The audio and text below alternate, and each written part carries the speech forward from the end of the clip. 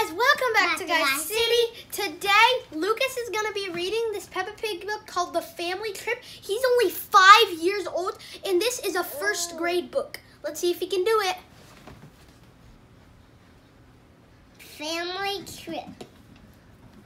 Peppa and her family are going on a trip. Mommy Pig is packing their bags. Uh-huh. Are you sure we need all that stuff, Mommy Pig? Daddy Pig asks. Yes, replies Mommy Pig. It's all very important. Mr. Bull takes Peppa, George, Mommy Pig, and Daddy Pig to the, the airport in his taxi. Yeah, I'm doing this. Miss Rabbit checks in their backs. Then it's time to board the plane. Airport news. Airplane. Meow, says George. Says George. It's hard.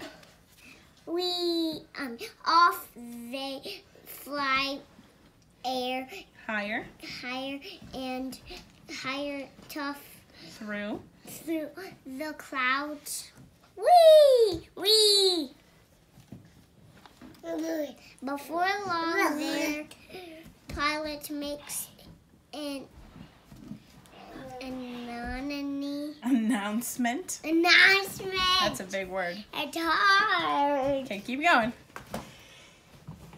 We are about to land in Italy. Italy, yeah. Miss Rabbit, who's who is also their pilot, Flight flight attendant. attendant, says please fasten to your seatbelts. Good guys. Okay, we're gonna go down to the last few pages. Because this is getting too long. Wait, that page. Right here. Okay.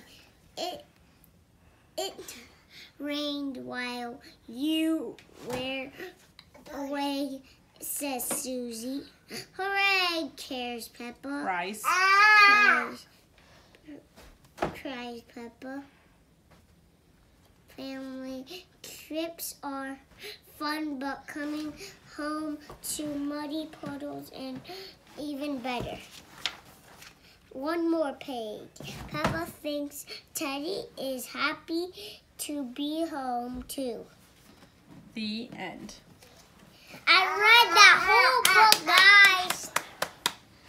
Okay, that's all for our Guys City video. Big thanks to Lucas for reading a second grade book. Look how big he is. And he is ready for kindergarten. He's going into kindergarten. And that's all for our Guys City video. Make sure to like and subscribe. Hit that and hit that notification bell. Bye.